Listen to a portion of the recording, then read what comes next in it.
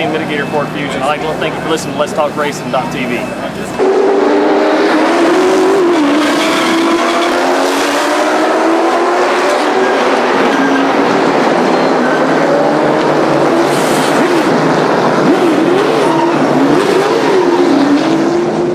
Hi, my name is Frank Daney Jr., driver of the number 5 Kiker Motorsports Camry. Welcome to Let's Talk Racing TV.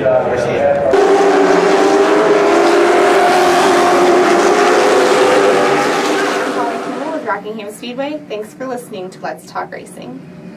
Uh, I'm Tony Peter, driver of the number 17 Toyota in the NASCAR Camping World Truck Series, and you're listening to Let's Talk Racing.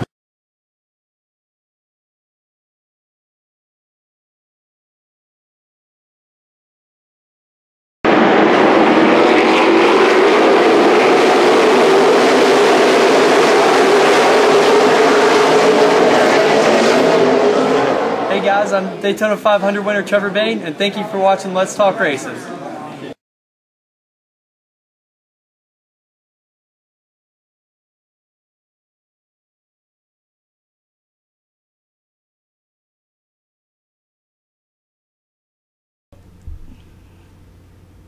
Hi, Natalie. Hi. Have you ever watched any of the videos yet? Did you know you're on the videos? TV show we do, right? Maybe. Remember the video clip I shot with you up at Richmond? um. Oh yeah, yeah, yeah, yeah. Well, you are part of the show because you partway through the show I do a little video clip s- session. Oh really? I Yes. That's neat. So there's there's things out there you didn't even know. I'd like to welcome everybody to Let's Talk Racing. We've got uh, Natalie Sather, Sather on the phone already. Joe Scarbrough just finally dragging in. Having Made a lot of cautions on 64. Sorry. Better be glad they didn't red flag you. Oh, well, I had a few of them too. Uh, for those of y'all that haven't uh, met Set Natalie before, Natalie, go ahead and do a little quick bio so we can get everybody up to speed about you. I am um, a late model driver in the NASCAR Whelen Series, and um, I currently race at South Boston Speedway mainly. I uh, competed at Langley Speedway for the first time last week. I've been racing since I was nine. Started in go karts, went to uh, dirt sprint cars, and um, had a few uh, had a big accident in sprint cars where I broke my leg, and then um, had seven surgeries on it. Moved up to late models in and then um, got the call to move to Virginia, and of course, you know, took the opportunity to run at America's, you know, hometown track, which is South Boston, like I had mentioned, and been doing that for two years now with Sellers Racing, and um, that's about it. Well, cool. So tell me, what did you think of of Langley? Be honest. It was hard. Let me tell you that. It, I wouldn't. It was tricky. It was very tricky. It, um, you know, South Boston is got a, lot more banking, and it's just a completely different, you know, way of driving it. And I was thinking that my experience at Evergreen Speedway in uh, Monroe, Washington, would help. And it's such a different shape of a racetrack than Evergreen was. The only, you know, similarities they had was that they were pretty flat, but it um it, it took me to get other cars out on the track to really really figure it out kind of gave me something to chase and um you know we struggled a little bit in practice and definitely struggled in qualifying but um come race time you know we worked our way up through the field and just unfortunately were involved in you know a couple accidents that you know put us laps down but we had a fast car all night and or excuse me after after time trials we had a fast car let me correct that but you know um i picked it up quick when i got to be out there with other drivers and it was a lot of fun. I definitely would love to go back, but we only have one opportunity to go back, which is at the end of September. I tell you what, I've seen you run at, at South Boston, and to see you out here, I, I was really impressed at how well you picked up on the track. It was it was tricky, but you know, CE Falk he helped me a lot. Eddie Johnson and Mark Wirtz, they all came over and said, "Don't get discouraged." And CE actually came out for practice the day before, and we went out in his car and drove around the track, you know, just to help me with the line a little bit. And you know, to have guys like that that run at Langley and that are successful there, not only at Langley but wherever they go, you know, meant a lot. And you know, Mark and Eddie came into the trailer, and I didn't even ask them to. They just could kind of tell that I was getting a little bit discouraged and down on myself, and that meant a lot to me to have those guys come in and say, "Don't you dare get discouraged," and you know, give me some pointers and tell me I could follow them in practice, and and um, it was fun. I I had a lot of fun on Saturday. Just wish we wouldn't have been involved in those accidents. Well, I, I had spread a little bit of word for some of the people if they had a chance to give you a hand if they could. So, Say that again. I said I did spread the word out to a few people to if anybody could give you a hand if I so hopefully those were the guys that wound up getting the message. Yeah, they did. Um, you know, everybody up there at Langley was really helpful from, you know, track owner to the promoter, everybody. I mean, they were absolutely phenomenal with, you know, making sure that we were comfortable. And I was glad that to finally get up there. I know that I committed a couple times, and, um, you know, just to, due to unfortunate circumstance, we couldn't make it. So it was good to finally get up there, and hopefully we can get back there at the end of the year. And Langley's one of those places that I mean I've been racing there for years, and it's just as far as that comfort level on the racetrack. It, no matter how good the car is, it always seems that there's at least one spot on that racetrack that it just doesn't feel right. Exactly, and you know there was different points on the track where I struggled. A lot of people said that they struggled coming off of turn two, and everybody goes, CE can get all of his tires down there. So if you can do that, that's the. I mean, CE wins there almost every weekend. That's the fast way to get around, and you know it was it was so much finesse coming off the corner, and it took so much of me communicating with my team to figure out what the car needed. And I, I was, you know, you know, I've only been doing this for two years, so I was, I was trying to my best, but I was confused as to how the, the car. And eventually, as we worked through it, we got better. And coming off of turn two was, you know, we perfected that and to get low like CE did. Not maybe not quite as low as he did, but I used that that rim to kind of help my car turn and be able to accelerate off of turn two. So it's a tricky place, but I hope I get to go back because I think I would do a lot better. You know. Well, and, and the thing with that, it's it's almost it's, it's similar to a dirt track in a sense with that with that uh, the apron is it doesn't necessarily work the same way throughout the day. I know if you if you try it early in practice, it usually just seems to upset the car, but later on the night, it, it, it tends to turn into the hot lane. Exactly. Like I said, I go, this is like a dry, dry, slick dirt track is what I told everybody because you have to use, I mean, you have to use finesse getting into the corner. Like our very last practice we went out, I came in and I go, I got it. Like I was so excited because I mean, I, I literally got ready. I'm like, I got it. I figured it out. And, you know, I was so excited 'cause our lap times like got so much better and more consistent. I was using too much brake coming into turn turn one, and of course I can, you know, time trials that went out the window. But it, it, Well, and it's it's odd because I and you- you talk about time trials out there because I've had time trials at that track where you know I come in and I'm sorry guys I, I, I blew it and they're like well you're on the pole and then uh, you know other nights I come in and it's like yeah that nailed it where are you ninth Yeah. I mean, I, I knew I blew it. I completely drove in way too hard on turn one and was hoping it would stick, and it didn't. And then hoping my tires were going to come in again. I just drove in too straight, and it was completely my fault. But you know, and and like I told myself after that accident, you know, that well from what I saw at a wreck it looked like you were more or less a victim to it it looked Yeah. like everybody kind of stacked up down there and you were up on the outside I think and, and it just I just they just uh, well, they just swept you up there or no actually down the bottom just got caught in a freight train I think weren't you Yeah, I had nowhere to go, and it was coming into turn three, and I could see it happening, and I was kind of making a, a, a move at the same time, so, and it's like I couldn't, I couldn't do anything, and the cars in front of me just started piling up, and the only thing I could do was hit the brakes, and I actually got airborne. So I thought my car was going to be a lot worse off than it was, and then, you know, in the second race, um, you know, they told me I had to get back out there in order to qualify for, for position, I had to run at least 50 laps the first race. So the guys worked their tails off, and we got back out there. And I was just kind of making laps. And then um, second race, we were doing really good. We were following Eddie Johnson to the front. I actually, I'd like to see a video of that race because I don't know how you crash on the straightaway. Well there's no real straightaway in Langley which makes the wrecks really hard to avoid it was so crazy. Like all of a sudden, the guy in front of Eddie spins, and Eddie's going, and I had no, nowhere to go again. Cause I was, I mean, it was like bumper to bumper. I mean, I was pushing Eddie down the straightaway, and I mean, it was just like, oh, where did this guy come from? And I hit my brakes, and we broke a tire out again, and went back in and fixed it. I mean, and we were passing cars, and we were doing really well in the second feature. It's just unfortunate that we had those you know, unavoidable accidents in front of us. But I blame myself because if I would have qualified better, I wouldn't have been. I would have been more in the front. So So what what actually broke in the right front? A tie rod. Tie rod.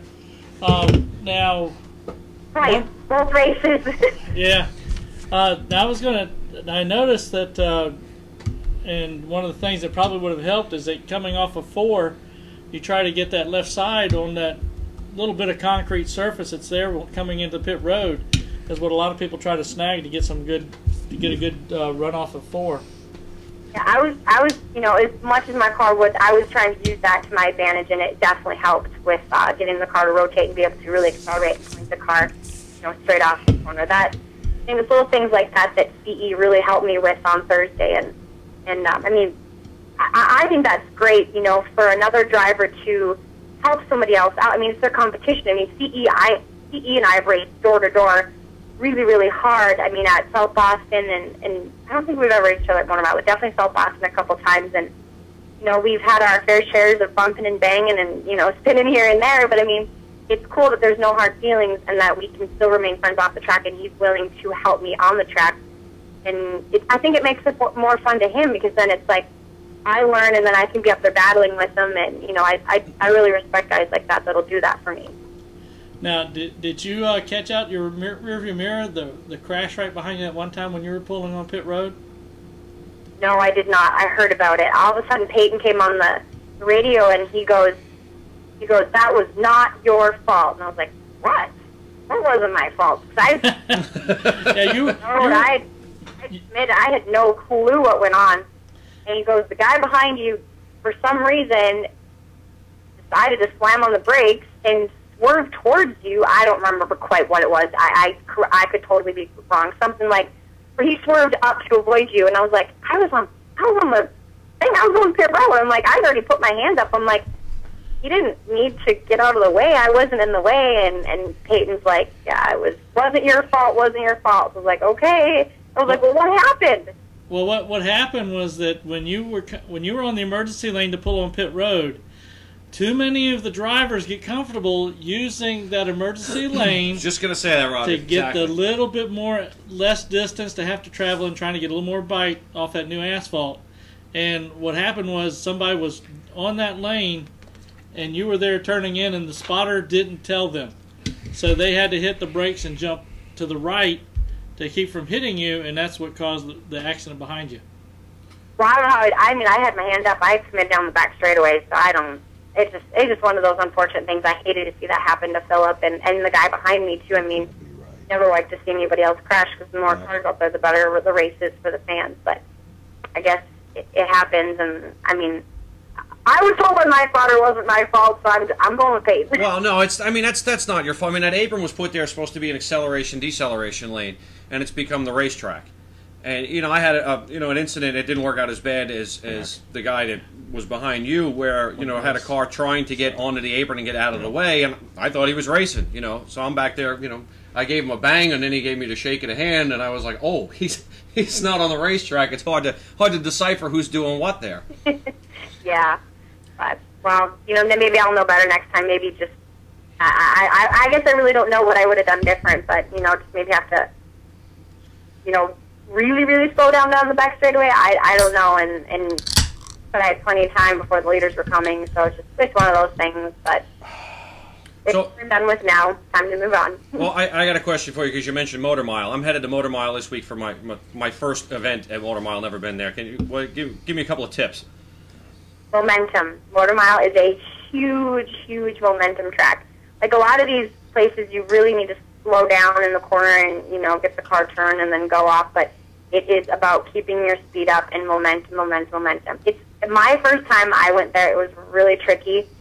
It, it, it, you the line that you think you should drive is not the line you should drive. It's really weird. And why why is that? Is it a, an odd apex or is it uh, uh, variable banking or progressive banking or? It's got a substantial amount of banking, and the way the way that the car, if you drive in and you think you have the right line, like just kind of following the banking a little bit, but you actually need to be a little bit lower on the track. You actually use the um, like the curb a lot at Motor Mile. Okay. You need, really need to let it drift drift up towards the wall, and you make a big swooping swooping turn in, especially into turn three. Yeah, it's been a year, so bear with me that I've been there, but I It's really all right. like You've been there. I saw a picture. That's it. You know. So When you run a motor mile? we're going to Motor Mile Saturdays, uh, Rolling Thunder 1500 to win race, and seeing how well we're doing in the point standings at Langley, we figure we should probably pursue other ventures where they're paying. uh, Motor Mile is a great track. I cannot. We're going there in September, September 11th, I think. So we're going there 10th, something like that.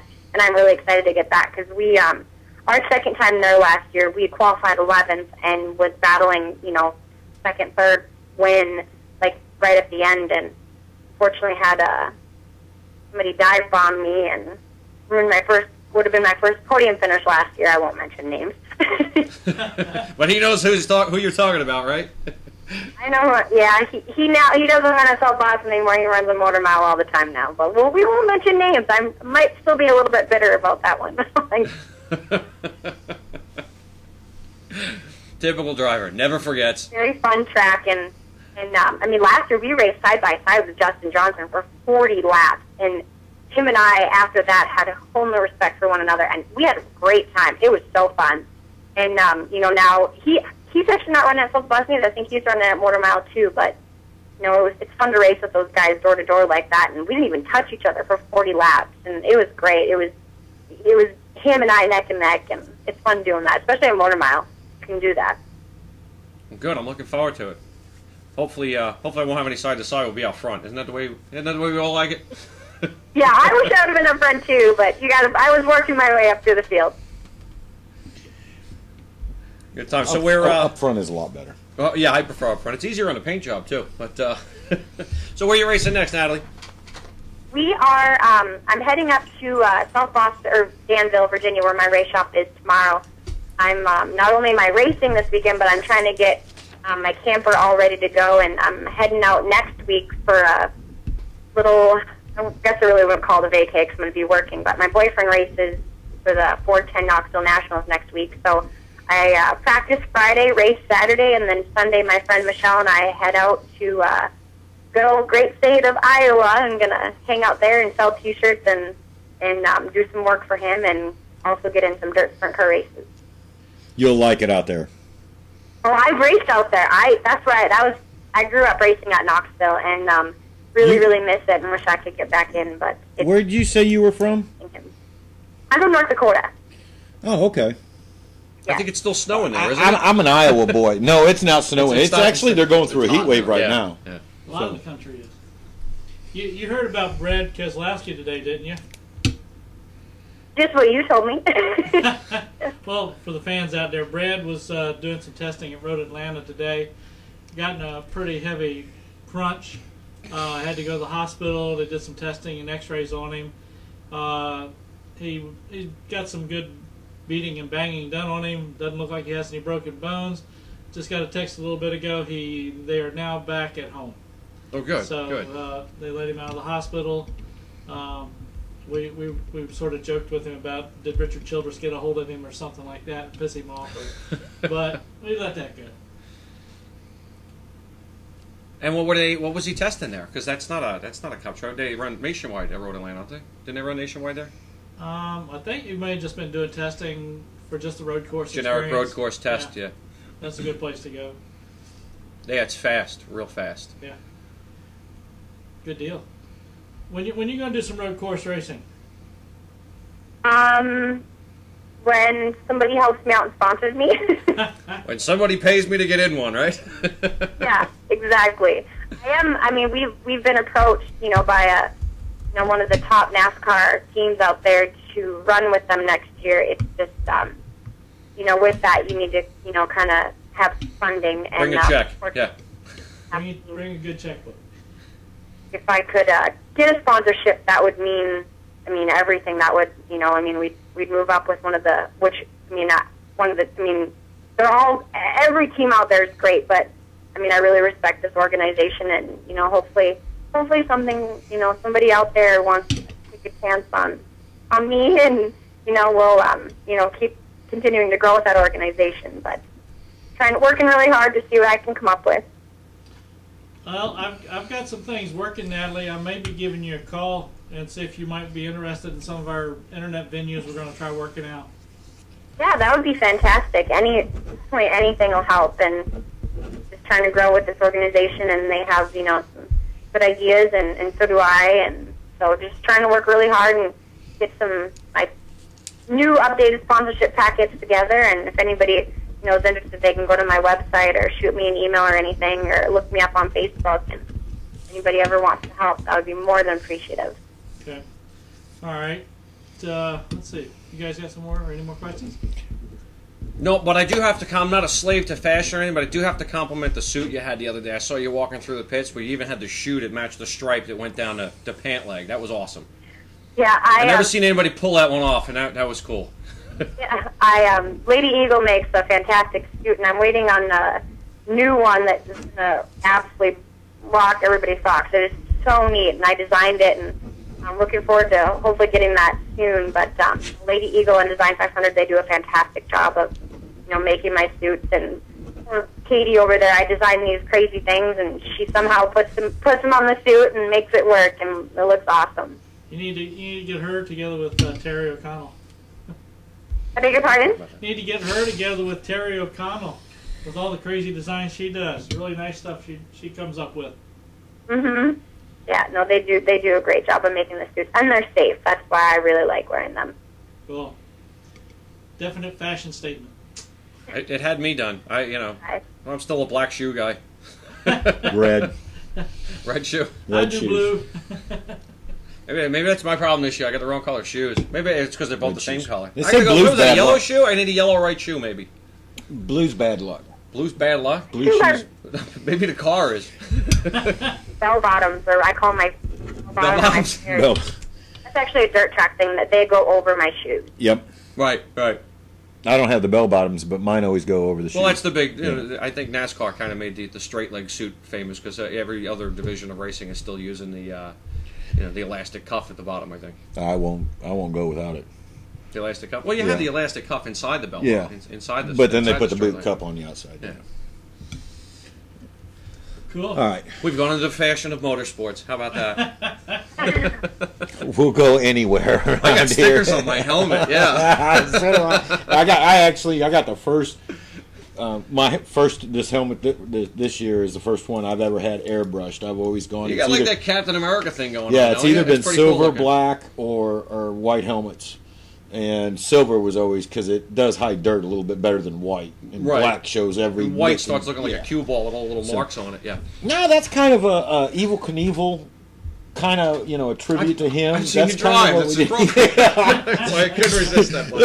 yeah, after that last race, I did do a couple of Evel Knievels, or Joey Chitwoods, as I like to call him. Oh, jeez. So Oh.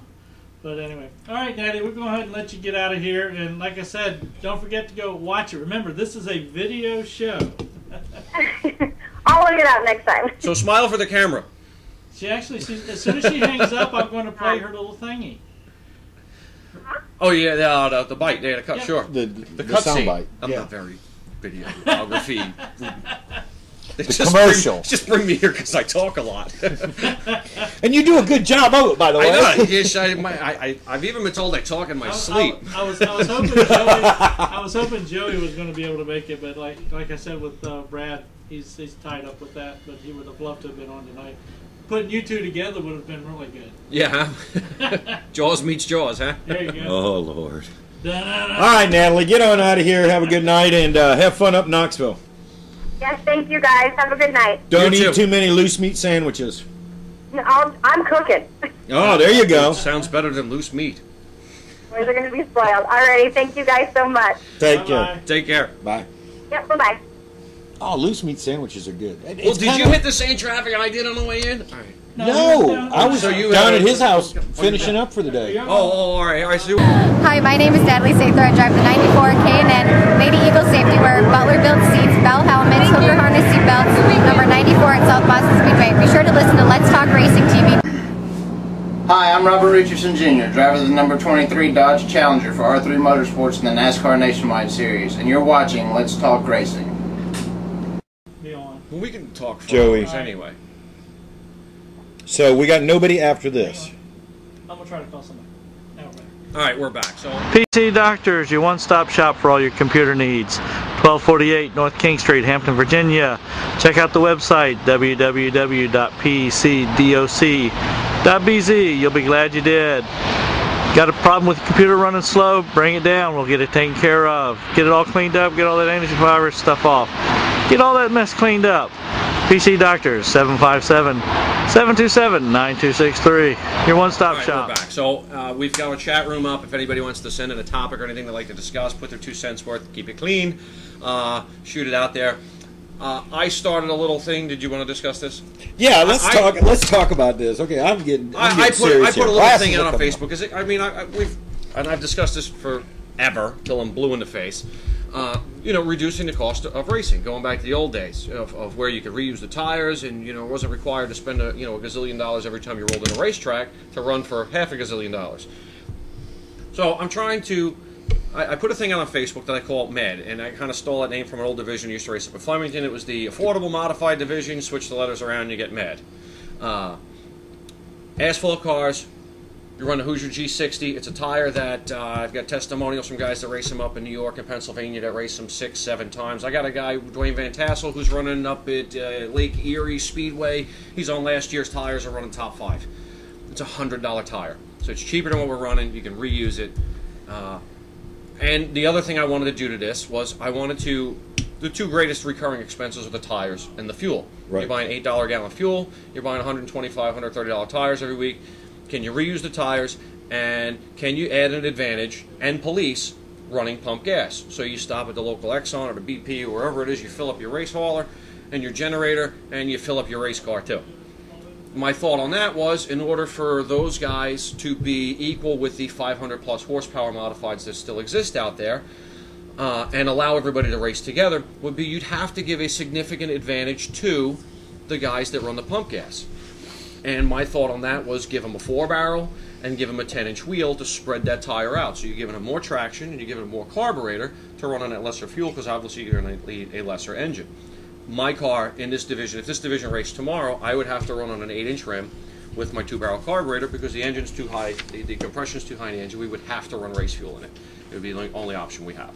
And you'd blow it up on pump gas.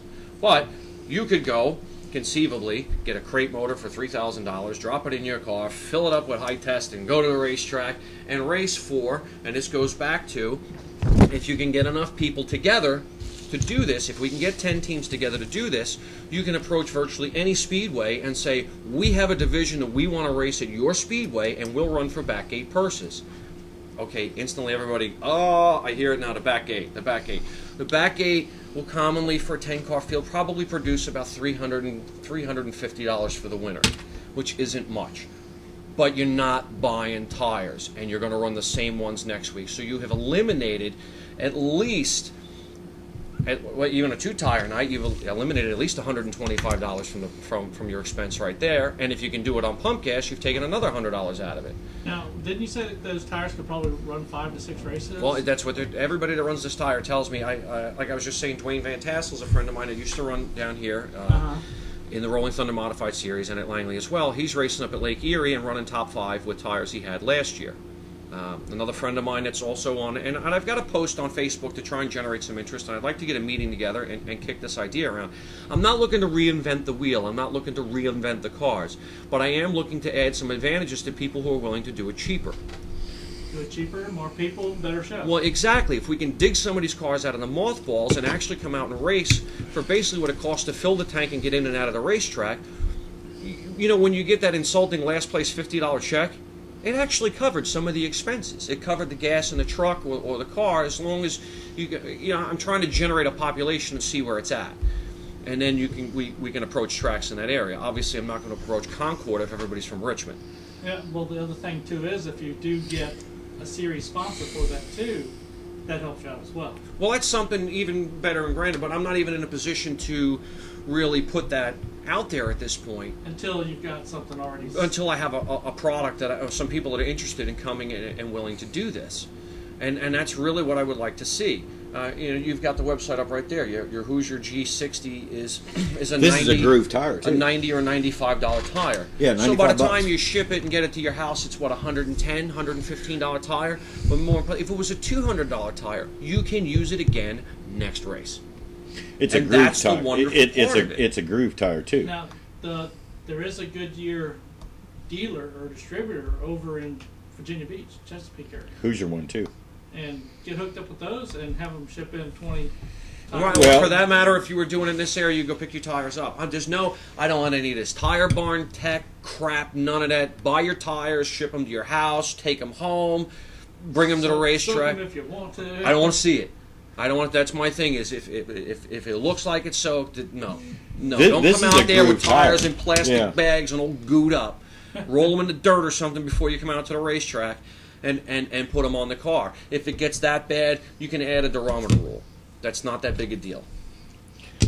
But I'm thinking Well- for the guys, the pump gas guys, take the weight rule down to them. Take the cars that we have, make them say 2,700 pounds from the 2,600 that they are now. Basically, for most teams, that means fill the tank, fill it up with the high dollar race fuel, and go racing. And initially, probably our first couple of races would be the cars we have now on this tire. But you know, I see some of these some teams that have just can't simply afford to do it anymore. And here's going to be a very controversial one. I had a long discussion with Mike Leach here. Now, I read an article in, in Circle Track magazine a couple months ago about a $2,000 street stock with an LS1 motor, basically a, a stock Camaro motor. used the injection system. If you ran the pump gas, why not let them run the injection system if you wanted to? This would give somebody with a, with a very low budget, you could you could pick up your wrecked Camaro, take the motor, the system, and everything, put it right in the car, and go out and race, and actually have a shot because a, a street Camaro makes what 300 horsepower, Yeah, and a crate makes what 350. But uh, okay, and, and 350 with an 800 dollar carburetor on it. I, I agree with that, and that would be a great idea. It really would, because then they could do it with the Mustang motors too, the V8 Mustang motors, and run it on pump and gas. run it on pump gas. The and now only you're back, problem you're that you're going to run shopping in junkyards for parts if okay, you want to. then then the only problem that you're going to have doing that Right. is you're going to have some wisecracker go get an LS7 vet or something like that, something that is so radical that's got five, six hundred horsepower, and put it into these cars. What is killing racing today? So what? What? I mean, what does what does the LS7 motor cost? Well, he's good at I've seen the crates. Isn't seven, this, eight, nine thousand dollars. It's still cheaper than what we're running. Well, I agree, No, no, but what I I'm know, saying I know, is, I know what people are is going to say. Oh, I got a five thousand dollar Midwest Motorsports motor in my car. That's great. Are a you claimer on are the you engines. winning? Put a claimer on the engines. I'm not a big fan of the claimer thing. But it's, it's going to keep the people from going out there and buying a, a I- tri- I, mean, a, a I- I- I gotta- even gotta agree a, with that. A seven thousand dollar claimer engine, a, a, a crate motor, is still cheaper than what we're building. You know, we got high compression roller cam. But You, the you, thing is, you you're running want- you're running steel heads, which cost you more than the aluminum ones. but you're still uh, and to see, I say let, allow them to run aluminum heads. For the pump gas guys, yeah, that's another advantage. Yeah, and take I, the, I I'd- say do that. Yeah, I would I 'Cause would You can get e- you can get um. strict on the safety, reduce the weight rule, or eliminate it. Well, isn't the whole thing trying Well- to get to a, a good racing division with cheap cost? Exactly. That's what I'm looking to do. That's what I'm trying to get w- away from that Corvette engine. I want the hundred. The, I want the hundred car fields back. The fifty car fields back. I don't think you'll go to get them. Well, you're probably not going to get that many, but there's no reason you can't put 30 cars on a racetrack. This race car on pump gas and a reusable tire would be cheaper to operate than a U car. I agree with you on that, Because the U especially in cars the are mod running Hoosiers divisions. and they're putting them on every week. Yep, I, I agree with that, and, and I agree with opening up the rules a little bit and allowing them to pretty much do what you want. You're going to run pump gas. You're going to be on this eight-inch tire, and it's a groove tire, And- and the- thirty-six oh twos. Right. The, the thing I'm what it is. researching is, and, and anybody who's got any input on it, is exactly how to determine specific gravity. I know you use a hydrometer, but I've never used one. I don't know much about it. So, you know, somewhere along the It's line, easy. there's a line between what pump gas is and what leaded race fuel is, and it should show up in specific gravity, I would think. Uh, But, yeah, I'm, not, but I'm not a chemist. I'm not a gasoline man. You can you can test tube it. Well, and that's what I'm thinking. But I'm I, I confess my ignorance in the subject. That's where I need the input. Even if we don't go that route, still running on this tire is going to slash the price of racing to nothing. A lot of promoters don't want to hear it because a lot of promoters are selling tires. You're going to run a track tire. Well, and and I think I think the the I agree with you on the tire deal. You got to run a thirty six oh two. Who's your tire? That's it. Eight inch. That's it. Or eight inch tire on a ten inch rim. That's it. You know, Right. How, what you were talking about. Right, exactly. Um, that's a good idea. You're still going to need something in place to take care. I agree with you know, go to a junkyard, get a motor, put it in. You got a race car. Right. I agree with that. Um, you're still going to have to way to control a little bit of the motors. Putting the big four barrel on there, yeah, give them a ton of horsepower. Give them as much as they want. Well, there's but only they're so going to have that eight inch tire. With, and there's only so much you're going to make with 80 with, with that 92 80 octane, yeah. 93 octane. But we talked about this earlier when we talked earlier this week. Right. About and I and I like the idea, but there's ways around the fuel rules. There really is, and that's well, there's where additives and short as everything else. exactly. You know. Uh, I, and you know there are oxygenators and stuff that you can add to the fuels that aren't going to show up in specific gravity. You're still there's some of you're them, yeah. still running on 93 octane.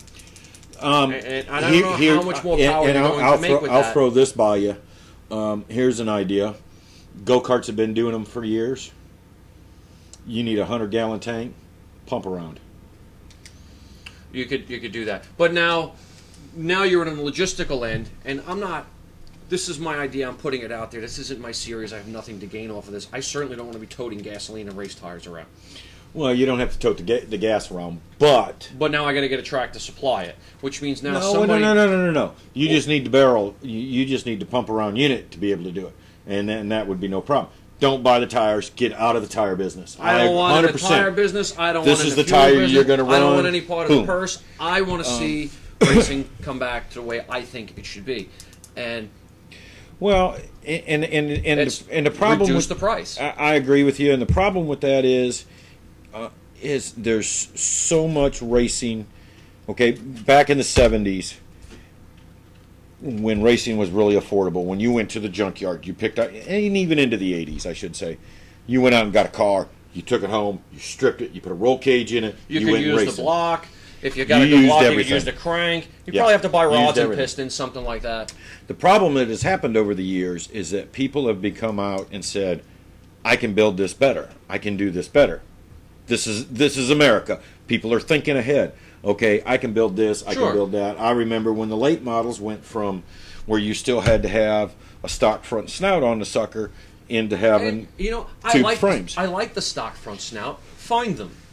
well, exactly, And then and, police and them. that's why they we've, went We've to got stock front snout cars out there that they're buying the reproduction Chevelle chassis for eight hundred dollars and butchering the thing. By the time you're done with it, you got a two thousand dollar clip on the car. Call up Troyer, buy one for five hundred, and weld it on. Well, and then It's that's what already needs to be done. And if you wad up one horn, get a piece of two by three and put it on their level. it's cheaper. It is cheaper. Uh, I had a discussion with Tony Cully the other day. We're talking about rack and pinion. Everybody's, oh no, rack and pinion. A rack, a rack, top dollar rack, is eight hundred bucks from Sweet. yeah, You can get a Cavalier out of the junkyard. Use the same thing. Not as durable, but it's cheap. Buy a steering box, a Centerlink, tie rods, Pitman arm, idler arm. You got a thousand dollars worth of at, front at end least, parts. yeah, at least, Okay, and if you're using one of the quick boxes without a quickener, the box alone's a thousand dollars. yeah. Mine is a bone stock Chevrolet Camaro one at twelve to one. It's a four hundred dollar box. The rack costs that much. I could use the stock Cavalier one. If you wanted to, yeah. And and you know it's it's the initial the initial setup cost. It- So in other words, you're talking more. You're talking more like a Troyer type modified. I'm, I'm talking about what we're running. If you did show up with a Troyer type car, I would say make it weigh the same and jack it up to four inches and have fun. No.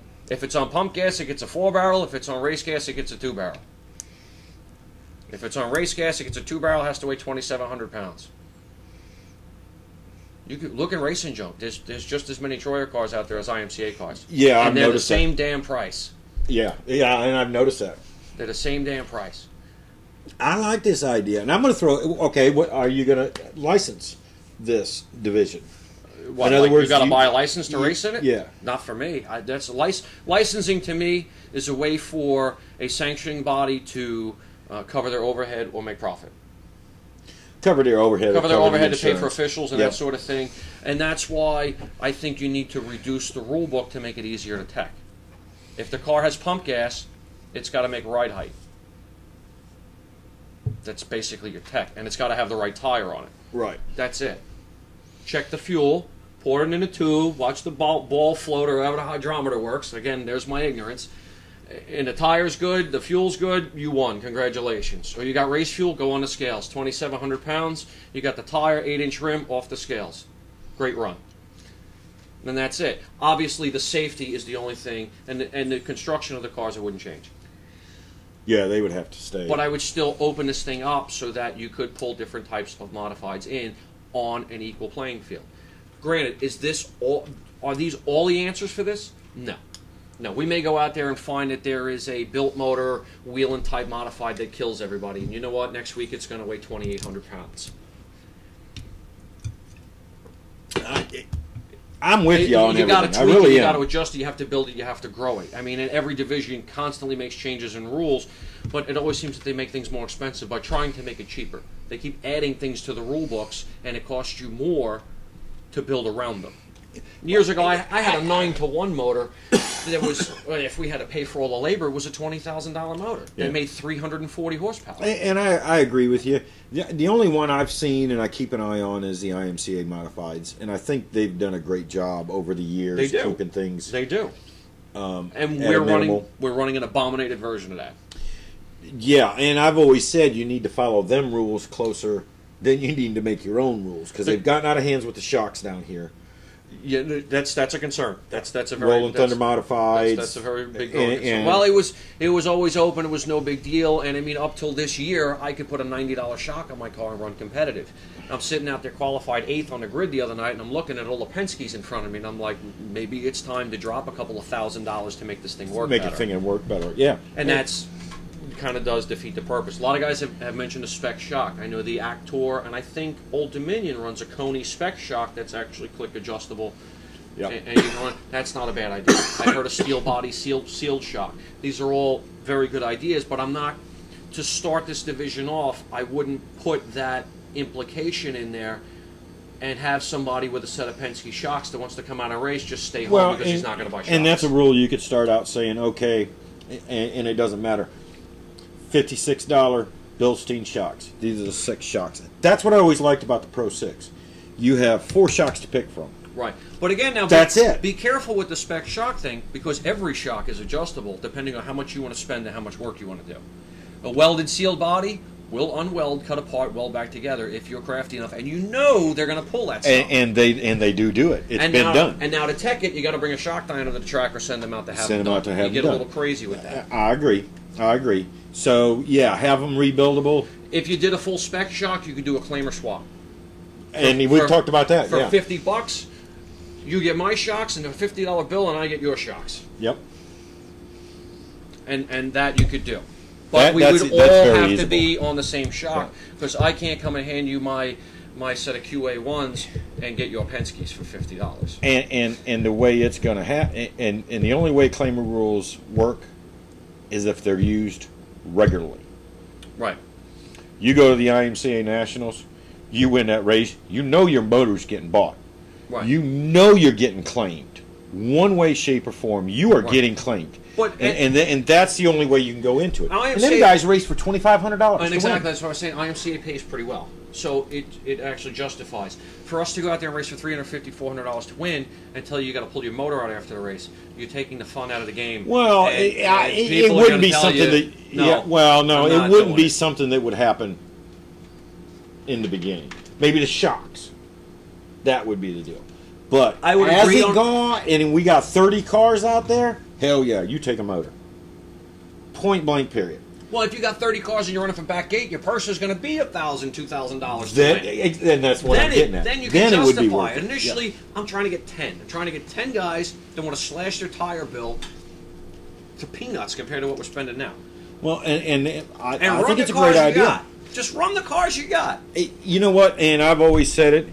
If they would leave us alone on the tires and say go to that 3602, which is a groove tire, it, they run it at probably run it up at Saluda. They run it all over the place.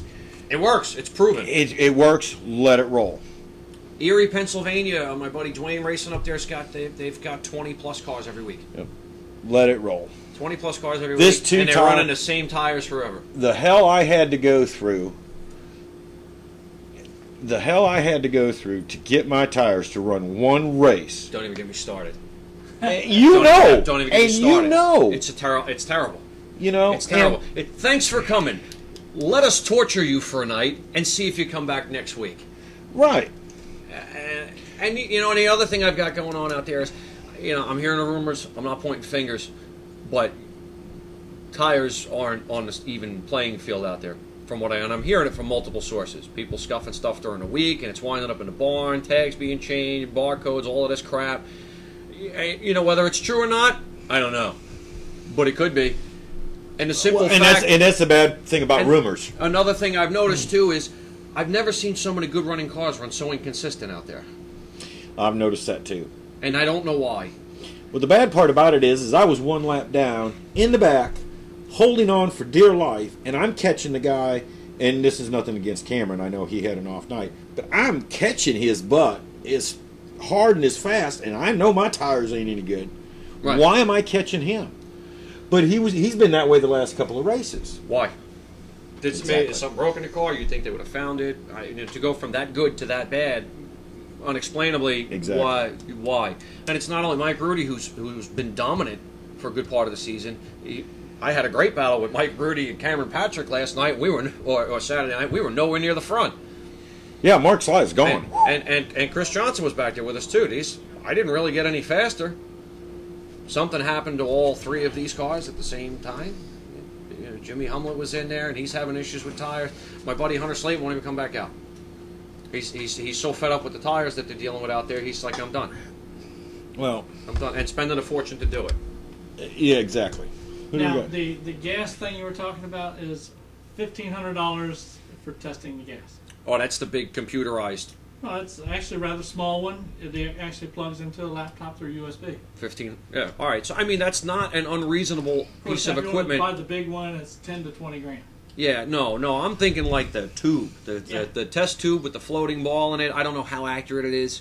Uh, you know, as long as it will tell us the difference between 93 and 108. You know, now uh, Mike Leach pointed out today that I'm on the air. I'll Sunoco makes a, a uh, a 98 octane that's I'm on the air. seven dollars a gallon. Uh, you there? Will it tell us the difference between that? I don't know. Go, I down, don't know. go down to the airport and get. Well, I mean, the difference between race fuel and pump gas, you could tell with your nose. Yeah. You know, I don't know what variations are in there of the, you know, the I guess between 93 and 102 or 105 octane where race fuel really begins. Can we run ethanol? One more, one more curve. I don't know. Through it. I don't know. What would that do? What's the price of ethanol Hey these Dan, days? we're, we're in here trying to discuss About trying same to as set up a whole new 93. racing division Oh yeah. in the modified series. This is what I pitched was uh, I, I pitched for, for an IMCA type modifier, really any type modified, to run on an affordable reusable tire like the Hoosier G60, and if you ran pump gas to get a significant excuse me weight advantage. How do you determine the pump gas? Um, I agree with. I mean, I think the pump gas thing would be cheaper too. Well, absolutely, and, and but you have to make enough advantages for a car on pump gas to run with the 500 and plus horsepowered race gas cars. And I, I thought giving them a wider rim on the tire, it's a 10 inch. The tire's got a 10 inch footprint. If you put a 10 inch rim or even a 12 inch rim on the thing, it should out definitely outrun one on an 8 inch wheel. Yeah.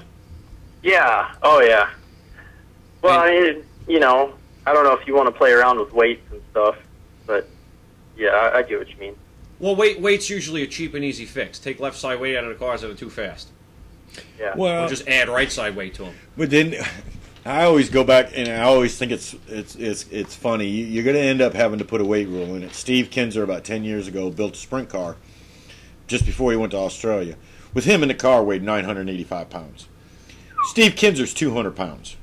Right, right. Well, Every bit of it. So y we're going to have to have Yeah, and- some true. weight And rules there. Well, and figuring, you know, if you maintain steel suspension components, Yeah, uh, and that's what that that's a lot of things. and, and you maintain the safety standards, your inch and three quarter 095 tubing, things like that, there's only so light you're going to make the car. What are you going to put? Aluminum bumpers on the thing?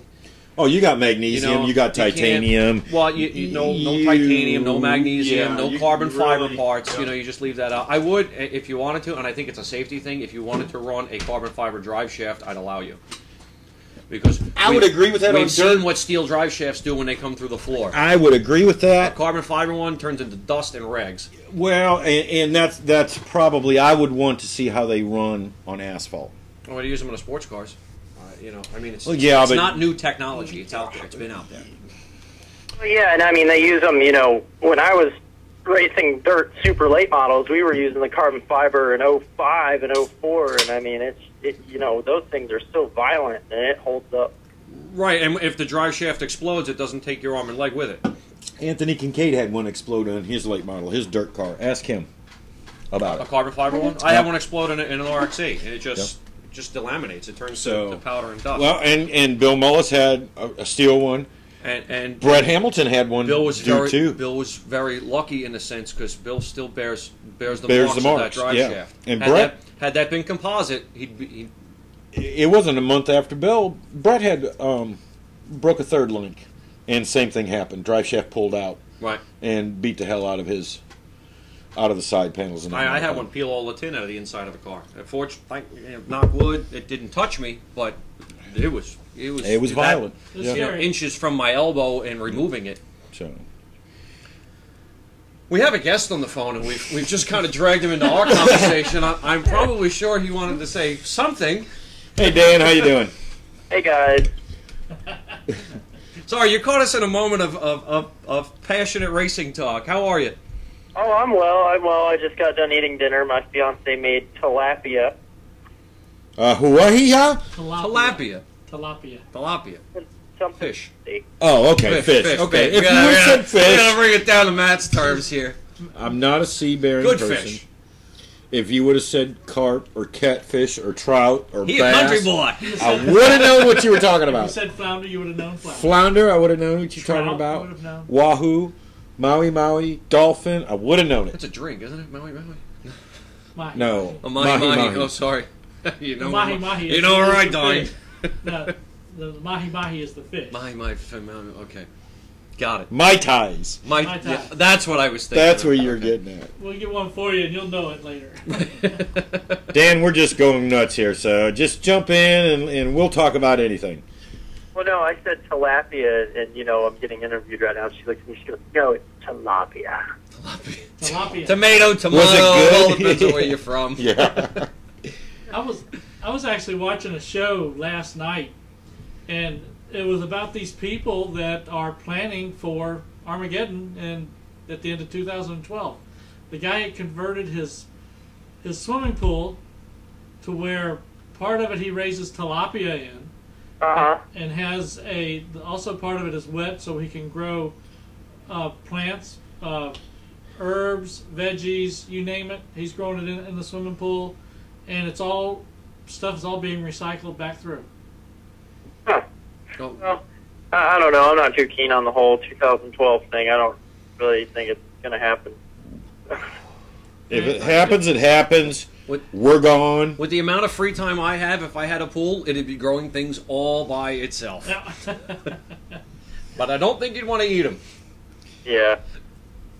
But uh, no, it was, it was a lot of neat things that uh, that they were doing with it. It was sort of cool. I mean, they, It- they need to put that. Did you see the guy that had an engine that actually ran on wood? Yeah, you haven't you ever seen that done No, before? he had a like an old pickup truck Yeah. that had like some kind of wood stove furnace that Yeah, powered the and- engine, and- and the- you could plug into it and he'd run the entire compound. The truck was a generator too. Yeah.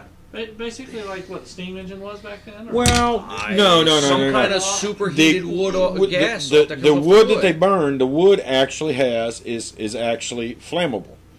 So the What's smoke. I should say, the smoke and your fumes from it. Right. So what they do is you start a fire and you just put the plume right into the intake. right into the, the carburetor. It'll run all day long. That was. all- I want to run my house off that.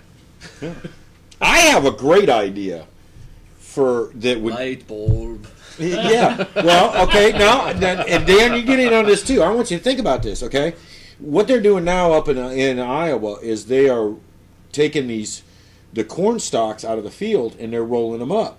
They're using them for no. No, they're not smoking No, them. no, no, no. They're That's not, the husks. No, they're not smoking it. But what they're doing is, is that they're using it for blockades during the winter, and they're also feeding their cattle. And I got thinking about this, and a friend of mine up in Gloucester has one where his hot water heater, and he heats his house off a wood burning stove. Mm-hmm. It's, cu- it's, Right, right, it's right. specially made, heats the water, it's heat inducted into the house. Right. You Yeah, I've know, seen that. Under the okay, under the floorboards in the hot water. Why couldn't you take, and he says he's got to stock it once a day. And this is a good size deal. Well, why couldn't you just square bale these stocks and do it that way? But instead of having just doing your heat supply, why couldn't you have a steam generator on there that would run your house too? And think of how much popped corn you'd produce. Well, I think that sounds like a good idea. I mean, heck, they're using corn and corn stalks for everything anymore. Yeah. Yeah. Pretty soon it's going to be, you know, NASCAR is going to want to make the bodies out of ground up corn stalks glued together. Corn carbon fiber. Corn carbon fiber. Corn, Are you- are corn has a kidding, lot right? of uses. A lot of people don't realize that it, it has a Corn lot. is in a lot of crap. Mhm. Corn's inside these things. Yeah, Laptops. you would be you would be amazed. Oh yeah, I mean they use corn for everything. Look, look hmm? at look at anything, almost anything you buy in the store. Look got a on the corn back, product in it. Ingredients, and you will see some sort of corn in it. Starches, corn syrup, Shirts have corn in them. No. shirts. No, yeah, there is. I mean, it's used in fibers and corn I'm is used in a lot of education things. Here on corn. Alcohol. Isn't this sort of corny? Oh. And somebody had to bring it to a low. He did. But you think about it, you could literally run your household without ever buying any electricity from anybody. No, absolutely. I think so too. I, you know, it's gonna. Some people are gonna get to that point. You know, the whole solar panel thing's bad for a while. Yeah. I don't know. We'll see what happens with that. Hey, hey, Dan. Th- let's- those are let's- getting expensive. Let, let's start a company, and then the company can sponsor the racing. and I'll tell you what. After a couple races, I'm gonna need a sponsor. Little bit expensive out there, ain't it, bud? This stuff gets expensive quick. Yeah. So Oh, we yeah. went to Roush today and picked up a road course for in housing and road course spindles, which you know they're they're not too much, but you know that whole list of you know to go to the road courses costs a lot of money, man. Well, yeah. What I And- think the brakes alone are what twenty or forty thousand dollars. Yeah, we've got really good brakes that are going on this bad boy, but you know I think we're gonna have a decent run there. I mean I'm pretty optimistic. I know last year I had a crap, but I were in a, a car that was you know they the Kozlowski's took straight from ORP and took the you know Watkins Glen.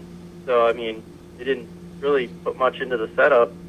They kind of you know made sides a little symmetrical as much as they could, but you know this car I'm taking next week. This thing's a this thing's a full blown hot rod for these right turns too. So I'm pretty excited. I think it's a good opportunity. Yeah, for those that don't know, Dan Brode runs in the Nationwide Series. He's going to be running. Part in- time. Huh? What? What? Oh, I run part time. Well, I was just saying. Well, you run in the Nationwide Series, and without saying full or part time, it sounds good. trying to make you look good. Okay, hush up, boy. No, absolutely, I, and I should take that back. I, I mean, this is a great opportunity for me. And he's going to be running uh, with Jennifer Jo Cobb up at uh, Watkins Glen. Montreal, Watkins Glen, Bristol, Richmond, New Hampshire, and so it'll, it'll be it'll be a good time for sure. It's a good group of guys. I, I really really get along with the team guys, and you know I was in the shop today for a little while, and you know I don't know them all by name yet, but they're really friendly, and they all come up and shake my hand, and you know we- we're really looking forward to next week. We're just going to take one car, so it's just going to be me. I think uh, I'll run her 13 number. So. So, you, so you've talked to Steve Cookendale. Yeah, Steve Kuchen Kuchenhall. but uh, yeah, he, he's a really good guy. We get we have a great relationship already, and communicate well, and we understand what each other wants out of this, and you know, bring the car home in one piece. But you know, Steve wants to maximize practice. You know, we did talk a little bit. We didn't talk too much strategy today because he's got to focus on Iowa this weekend. So I didn't really want to, you know, make him think about next week when he's got a lot on his plate for this week. So. But uh, you know, we're going to maximize practice for sure. This isn't going to be like last year where I run, you know, two laps of practice. I mean, we're going to, you know, we're bolting on a set of stickers and we're going to burn them up in practice. So Cool. we're going to have a good time. This is, you know, a lot of fun for me. I'm, my morale is through the roof right now compared to what it was earlier this year. So definitely, you know, it's definitely a confidence booster, and it, and it, it feels really good to be going to do something that you're passionate about and you love doing. Yeah, um, I was trying to remember. Is, um, there's another person I was trying to remember if they're on that team or not. A guy named Kevin Eagle. Kevin Eagle, yeah, he's awesome. Um, I actually met him formally yesterday. Oh, Kevin, I'm gonna see him Saturday. Probably he works with uh, Trevor Edwards. Oh, okay. Yeah. Oh, good. I'm going to give you something to. Yeah, I actually saw Wayne today too. I um, Wayne was actually in a stand-up urinal, and I walked up behind him. I go, I thought I looked, I saw a skunk. Yeah, well, he's got that. He's got that one of a kind hairdo there. Oh, yeah. yeah. Oh yeah, you know it's Wayne. Yeah. Yeah, usually when they come down here, uh, him and the crew and I will all go out and get breakfast a couple of days or something like that when they race in here.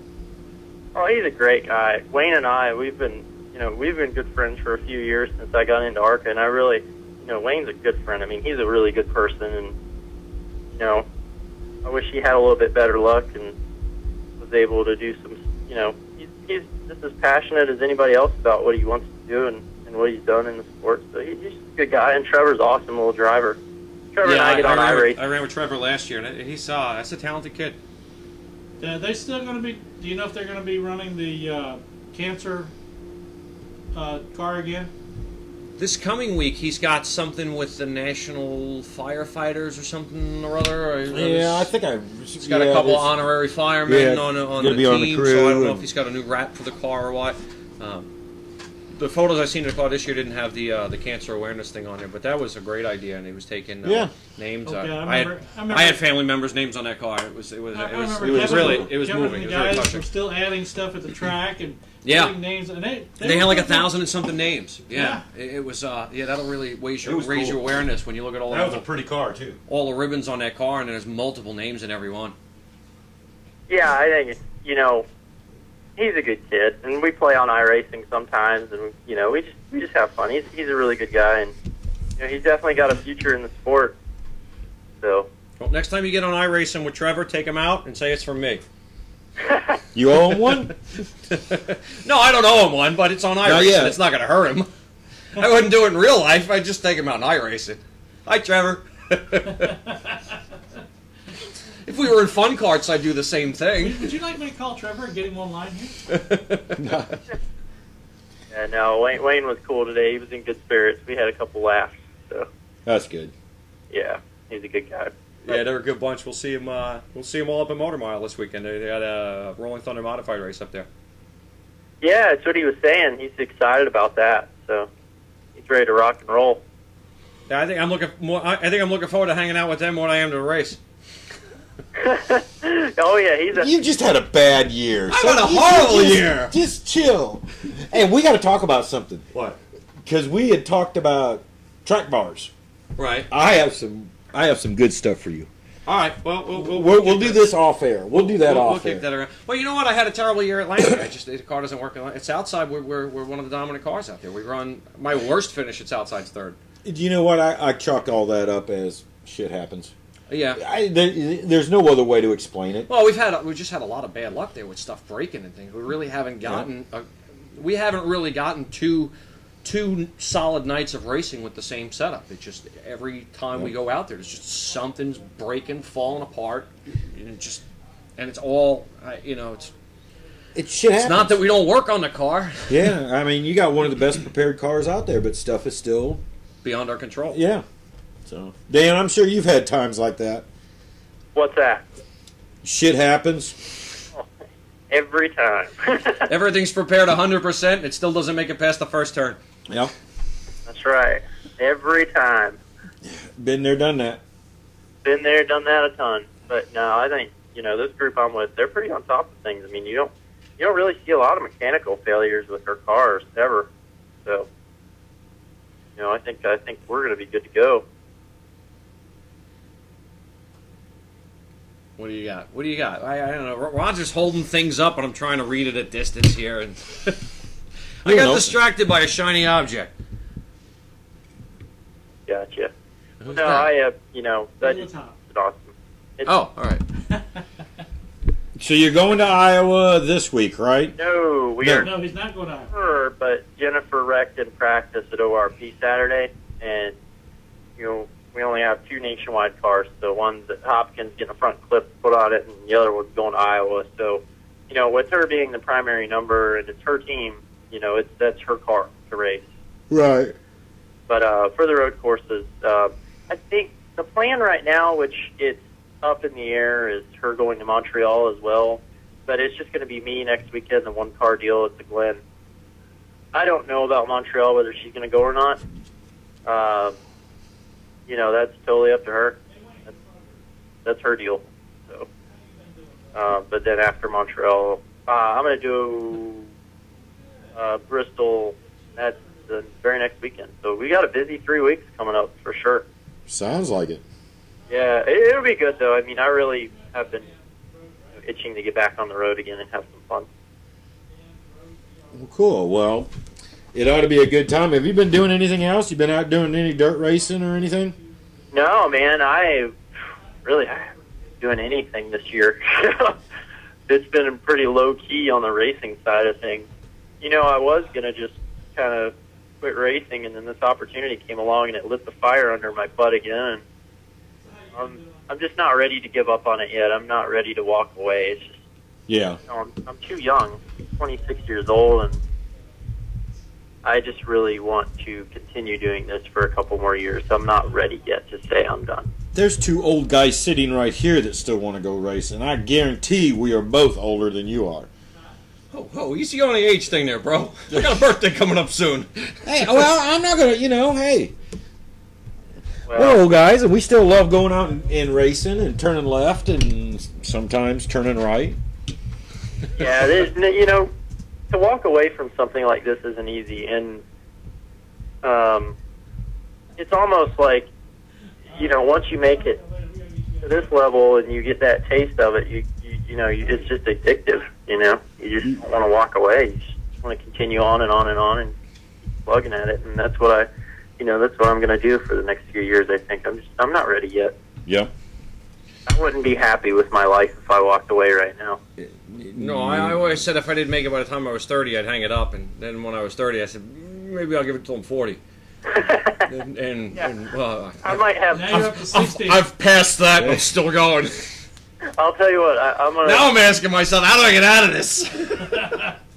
I live by the same, you know, motto there. I'm going to give it till I'm 30. It never it never leaves you. I, I think you know my dad quit when he was young and because of an accident, and I think he regretted you know not staying in it in one way, shape, or form. You know, I, I really do because it's hard to get him even to go to a track anymore. Yeah, no, and, and that's you know, I, Yeah. I I took like a like a two or three year break Sabbatical. there. Well, I started my own business and stuff, and I just got really involved in it, and it was like I couldn't I couldn't have anything to do with it. It was like I, I couldn't. I guess it was kind of like maybe an alcoholic feels at a bar. Yeah. I, I couldn't. I couldn't. You watch can't go to that bar, yeah. I, I couldn't watch the races. I couldn't talk about them. I took all the pictures down off the walls. I mean, I really had to do everything to just just put it away Yep. so that I could focus on my life. And even then, I was still out there. You know, I had a trucking business. Like, you know, one more load, I, I could I could buy that transmission for the race car I wanted. Yeah. that, that project was still sitting Still in the sitting there, garage. yeah. And I just I could never could never get away from it. And, and you can't. It doesn't matter what you do. You know, especially if you've grown up around it and, and you've been in it all your Well, life. and that's- and it's, I- it's hard to do. I figure when I get old enough to get out from behind the wheel, I'll get on a radio and yell at some young punk kid. That's it.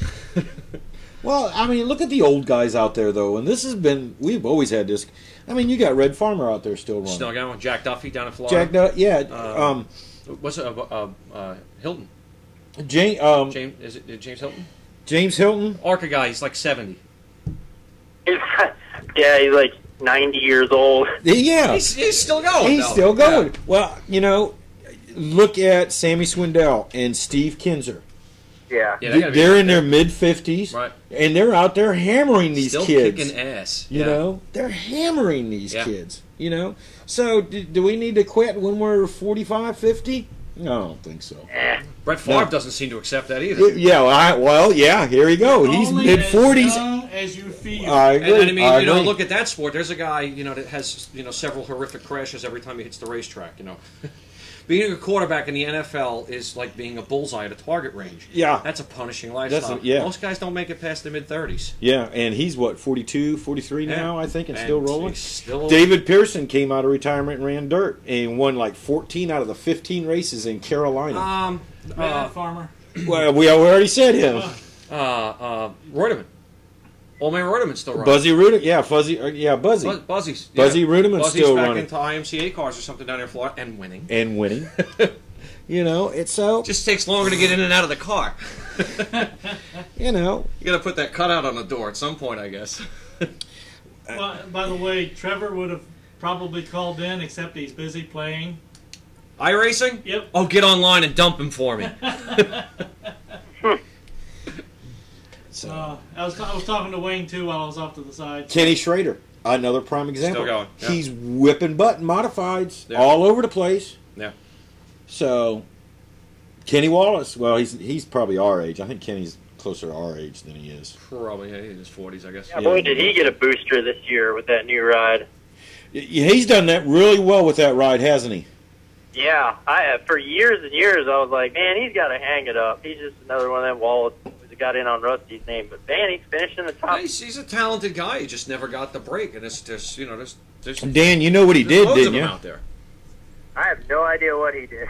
He told them, he said he would not accept a paycheck to put it back into the cars so he could run top 10 every race. He would not, he didn't, he, he turned down his paycheck. He says, I got the same contract.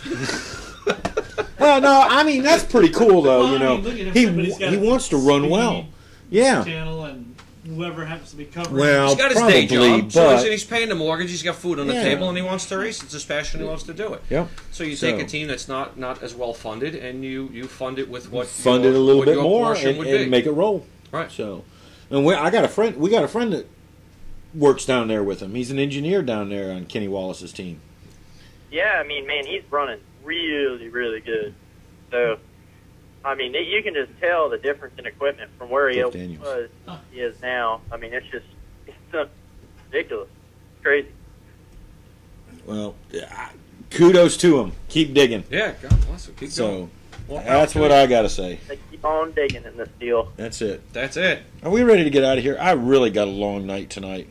Yeah, you guys take it easy. I, I really appreciate you guys having me on. It's been a lot of fun, and uh, let's do it again next week. We will do it here soon. we yeah, next week. We can do it next week. All right, cool guys. Good All right, Dan. See you, fellas. Thanks. Take care, bud. Nice talking to you. All right, last touch. You got a bunch of scribbles and uh, dirt. I, I wouldn't have any issues to running dirt, but you're not going to transfer a lot of asphalt guys over. It's just not going to happen. Until why? Why now? Why do a lot of the Why do a lot of guys wind up on dirt? Because they can't turn left real well. Well, no, no, that ain't necessarily Well, no, true. Why did I wind up on dirt? Why did Brett Affordability. Hamilton? Yeah, I couldn't afford the asphalt tires anymore. Brett Hamilton, you know, he's been asked a question: When you coming back to asphalt, Brett? He's when when, when the tire bill comes down. Well, and that was that was a quote. Loves dirt, very Yeah. successful. Brett's a five-time Rolling Thunder modified champion, six-time Asphalt. modified. Yeah, well, he was Uh, winning that's, it. Yeah. that's blacktop. Something made him leave blacktop, and it probably wasn't because he wasn't having fun anymore. He was very successful at it, and it was probably and, because and he just said, got too yeah, damn expensive. Exactly. Yeah. Well, it's. I wouldn't rule it out. I would not rule it out. Uh, I just got a message from one of the guys that runs upstate New York, uh, uh, and he says he runs a, a right rear tire for uh, six to seven races, and then it gets slick. He's got to put a new one on. Yeah. well, see, there you Six go. to seven. Right now, granted, they're Well, running. if it's a slick, it runs really good, better than They run, well, from what I understand, when you put a new one on, you're kind of screwed. You need to wear it in a little bit. shaving tires. I can see it already.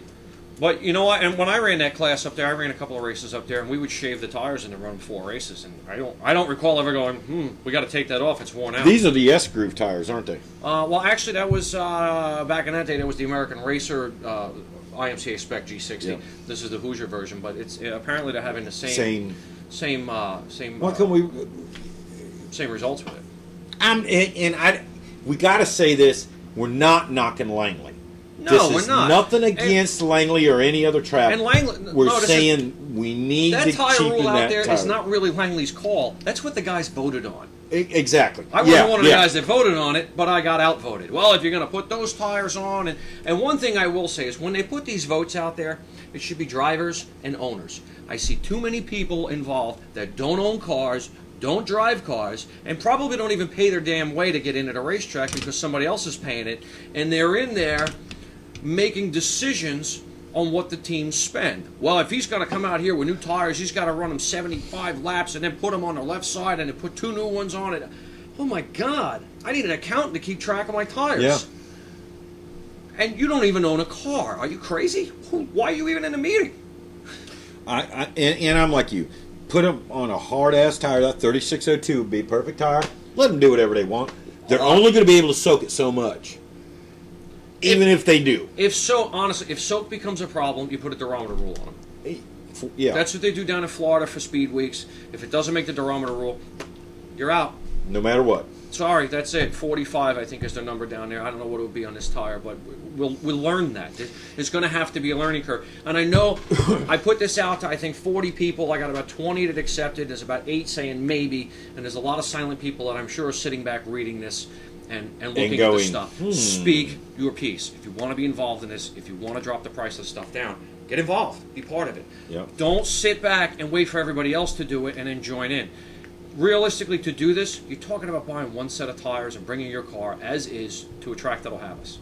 Yep. That's it. Four tires. That's all you got to do. You're going to do that anyway. It's just a different tire. Buy the tires, jump on board, let's approach a promoter and talk about it. Oh, speaking of which, promoters, I got a call from uh, Franklin County on the way out. They're having one of their big grab bag tire races. you pay 160 bucks. you pick a number, you get a stack of tires, you put them on a car, and you race for a thousand to win. October 29th. Might have to find And it may be that. in conjunction with the Rolling Thunder guys to, because they had a uh, date at North Wilkesboro that has been canceled. Canceled because of they so closed it they, back down. We need that big end of race year, and Franklin County, I think, is going to be the place to do it. Okay. And uh, it's a 10-inch tire. It's, it's a used late model tire, which we went out and ran on. And honestly, the damn thing's handled better than, than new 8-inch. It was it, it ran. They ran pretty good. I mean, the car had a good feel to it, and the tires were. I mean, they're used, but they're in good shape. I mean, it was Did you run the blue car? Yeah. Okay. Wasn't wasn't there um, some racing done a while back where the guys actually went out and got old late model tires to run on? That's well, what we now, were just the talking Rolling about. Thunder Modified Tour used to get the Hooters Pro Cup tires or something like that when they ran at Southampton. I'd say, I want to say. Now I might be a little screwed up on the facts there, but I know they had used tires from a series and they ran them at a track, and I'm pretty sure it was Hooters and uh, South uh, Southampton, which was a great deal. It was cheap. The guys ran on them. They they it was good. It was good for everybody. You know, Hooters got rid of a bunch of used tires, and Rolling Thunder guys got a bunch of cheap tires. And you know, and that's that's the biggest thing, especially for like Rolling Thunder, where they're touring all over the place. You, know, you got to spend three hundred dollars in gas to get to the racetrack. Yeah. Then five hundred dollars for tires, or even two fifty if it's a two tire race. You're running for back gate. It pays maybe five hundred to win. I thought you um. It's a horrible loss, no matter what you do. Didn't you um? Uh, how should I say it? Boycott a certain division. We didn't. Uh, we didn't necessarily boycott it, but we decided not to run it because we had so many other options here between South Boston, Langley, and South Side. You had Uh, enough options. I had three tracks right here that I could run. There was a lot less travel. It was more economically feasible with a lot more racing to do, as opposed to chasing it all over creation. All right, let's get out of here. Good night, All right. everyone. Hold on, hold on. Oh, hold on. No, no, no, no, Somebody's calling in. no, no, no, no, no, no. We're going. We going. started talking modified, so I got a modified driver that said he's calling in.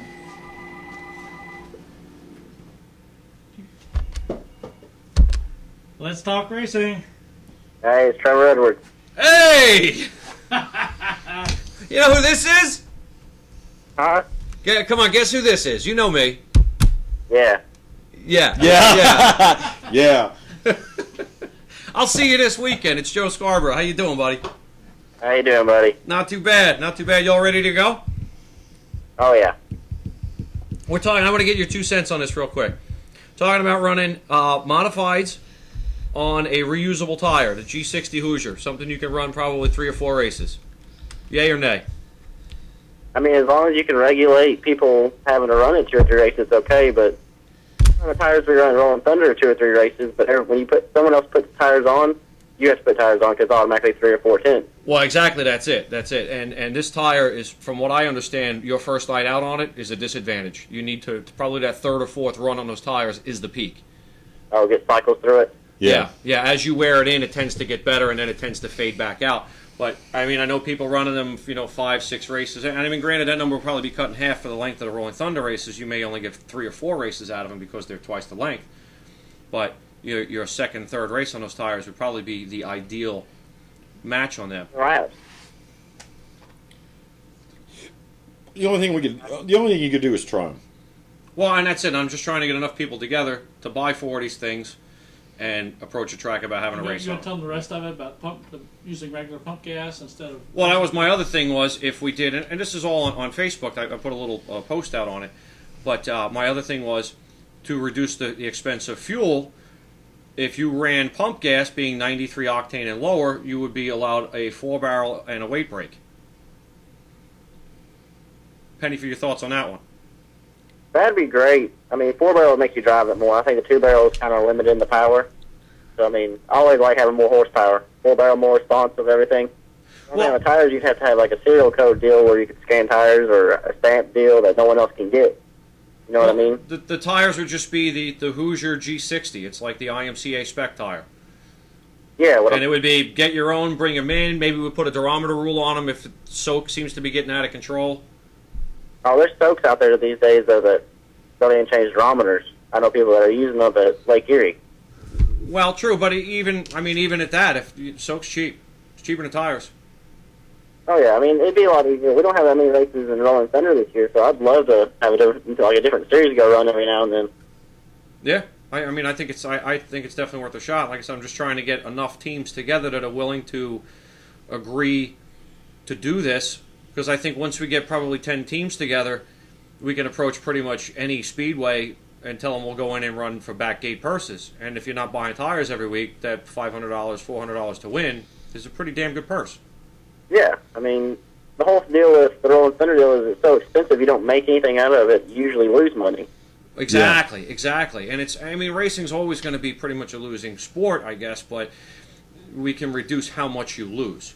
If you don't have to spend $150 in gas in a race car and $500 in tires on it, you can race for 350 or $400 to win and actually cover a good amount if not all of your expenses depending on the distance to the track. Exactly. And that's what I'm trying to bring back. And I think if we did that, we'd see a lot of these cars that don't run anymore come out of the mothballs.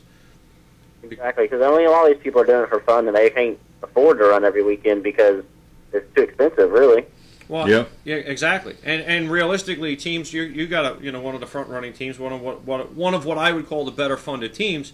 The tires you took off and deemed unusable, one of these other teams could probably put on a race car and run for two or three weeks. Yeah, I mean, there's nothing wrong with the Rolling Thunder tires. It's just if someone else puts a set on, you have to put another one on. Well, that's it. I mean, it's a very good tire, performs very well, but it's, realistically, you're going to buy tires for Motor Mile, aren't you? Oh yeah, everybody is. Then you bet I am too. And we all want to win. I mean, exactly. Tires on to win, really. Yeah, and, and that's that's just the, the that's the way it goes. Yeah.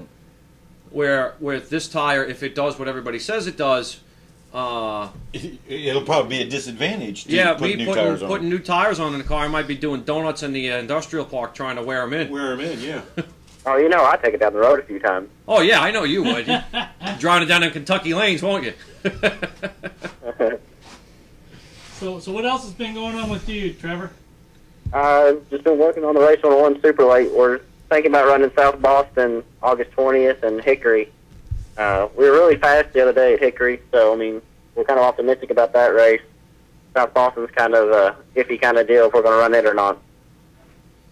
And then the modifieds, we've been running real good. I mean, first race we led out every lap. Second race we ran second every lap. So I mean, we're right there. We're we definitely picked up from what we were last year.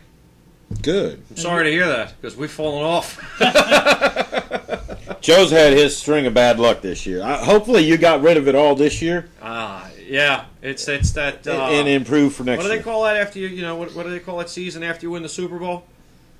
Sucky season. that the lousy one? Yeah, that's what we got going on. Sucky Yeah. season. We're not going to make the playoffs this year. But Sophomore season. If there was a draft choice, we'd get first. I mean, Coming into the year, we thought we. I, I've always had the idea of top Oh, we lost you. What happened? Yeah. Oh, there you go. There you go. That's, that's Hello, Trevor. Trevor. Yeah. Oh, hey, you're back. There you go. We lost you for a minute. Oh. Must be on that cell phone. Yeah, I'm on a cell phone because I was playing iRacing when he texted me, and I was actually in the middle of a race. Did you win? You don't you know you're not supposed to drive and talk on the phone? I wasn't talking on the phone. I wasn't texting or driving or nothing. I was doing all the right things, just focusing on the race. And yeah, There you go. surprised I killed him on there. Uh, I was talking to your dad. He said, "Yeah, he won't even answer me if he's iRacing. He's he's probably doing that. That's why I can't get a hold of him." That was it. I mean, that's, that's pretty much all I do now. I mean, I come home from work, take a shower, and get on iRacing and play around, have fun. Oh goodness. We'll have to get uh, Steve Durbin to, to get up with you, do some racing with you. All right. So what time? Are you, uh, what what time are you guys heading out to Motor Mile on uh, Saturday? Uh, we're gonna be out there whenever gates open. I mean, I don't know. I just kind of get show up and drive, really. Oh yeah, yeah. Takes me a while to get rough. the dirt out from under my nails. Sorry, buddy. Yeah. My, I work my tail off on this super late model. We come over and work on the modifieds, but when it comes to race day, they just wake me up. I get in the truck and head to the racetrack. yeah, that must be nice. Yeah. Y'all- Rough y'all life. Gonna be, y'all gonna be coming up to Langley? No, we don't have any Langley racing this year. I think we're gonna we might come up there and run a weekly show or something. I thought the Southern Modified were coming out to Langley this year. No. Southern modifieds Southern, are. that's not the Rolling Thunder. Not the Rolling Thunder. That's the the man. Ground that's pounders. Yeah. Okay. Wish we would because we were fast there last year. Yeah, you were. You're you were. You're real real quick. You what? You lost a clutch or something, I think, right? First race of the year, we blew up on lap two of practice, and then we barely lost the pole to Joe. Thank you, Joe.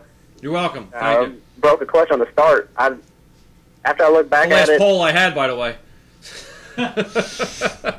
That's true too. it, it was actually going away in qualifying. I just thought I was buzzing my tires because that's what it sounded like. And then the race began, and it was kind of the inexperience showing last year. Now I know what a clutch feels like.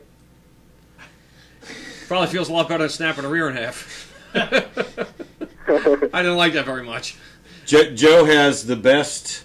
What do we call it? Save The best save of the year. Had had the the the differential snapped in half the going differ- into one on the first lap. and it turned not left, slap right It in locked- front of the whole field. It locked up the right rear. Oh, that was awesome! I bet. on, on to start, and we were nose to tail from first all the way back to twentieth. Please tell me you had a GoPro or something in there. Uh, no, no, No, he needed one though. It, it would have been good. All the nightmares of that are right in my head. Of course, his shorts did. The car. I want to see the view of Joe's eyes. they were white. I will know. I will tell you that. They were closed. What are you kidding? Afterwards, he did not have white shorts on anymore. Let's put it that No, no, I didn't hit anything, but I still had an accident. and, and everybody and everybody behind him probably had. Well, they were at least saying it. I know that. I'm designing a new line of tear offs now. they don't go on the helmet. They don't go on the helmet. That was close. And that that that was the first of many a restarts that night. Yeah, yeah. We, we, we I, I think it took five times Yeah, to get took started that night. Yeah, which was Yeah. cool though. The guys in front of me crashed much worse than I did. I, I and, just and I kept going forward. I just spun out of the way and got one little ding in the Nerf bar, and they, they, they piled them up into the fence. and you started like f- you were on the inside, so third or fifth. Uh, I think I was like fourth row inside, and the car in front of me tried to go three wide into the row in front of him, and that didn't work out well. So my spinning, I think, slowed everybody down from turning that what ended up being a three Fiasco. three car melee, one car crash into a massive mess. And I think on that next restart, that same guy tried to make it three wide again, Oh. and caused a melee. Did- Didn't learn anything from the first time. And we No. know who we're talking about. Yeah, yeah. Patience, patience is a virtue. Well, that's a flower. That's what they think. All right, let's get out of here. All I right, got a okay. long trip Hey, tonight. Trevor, thanks For, for calling up. Go ahead and do a quick shout out to your sponsors. We don't want you to call in and not be able to do that. I just want to thank Howell Racing Chassis and Gonna Go Motors for helping me out in the uh, super late and the modified steel rubber products still. And check out Track Atlas; they help you out. It's like a uh, Wikipedia for tracks. Pretty cool deal. Cool. I'll have to check that out. Yeah. Very good. Very good. And send uh, send my regards to, to Pop and Kevin and the whole gang out there, right? I will. And then, uh, actually, this weekend at Motor Mile, if anybody from Radford, Virginia is listening, they are actually letting anybody in to the track free if you have a if you can prove that you're a firefighter. We got hooked up with USSD, and they kind of they set that whole deal up. It's a pretty cool deal. Cool. yeah, yeah. I heard, I heard there was something going on with you and firefighter stuff. Um, We're gonna have, we're gonna have two of them there with us. We're gonna have two at each track we go to. Actually, come around, and just kind of hang out with us and feel what it is to be like a race car driver. And then I'm gonna go to a couple of firefighting houses or whatever they're called, uh, and just kind of hang out with them and see what they do. So it'd be a pretty cool deal. Yeah, real cool. yeah, one of our earlier guests was the one telling us about was Dan Brode. Oh, Dan, Dan the man. that guy. That guy. All right, I'm going to ask you about that on Saturday. I got a feeling there's a story behind that. Maybe. it's a good story. You're gonna have to call me on that one. Uh, All right, Trevor. Take care. Be good, buddy. All right, see ya. Thanks for letting me call in. All right, man. Take care. Bye bye. Have a good night. Bye. So that was pretty cool. Let's see, what do we Are we saying goodnight? Actually, I have a closeout, but you can say goodnight. Good night. Good night, everybody. Do a closeout. Hey guys, I'm Daytona 500 winner Trevor Bayne, and thank you for watching Let's Talk Racing. Let's Talk Racing is brought to you by PC Doctors, Computer Sales and Services. This doctor still makes house calls. And also Hampton Incredible Tees and Signs, both located at 1248 North King Street in Hampton, Virginia.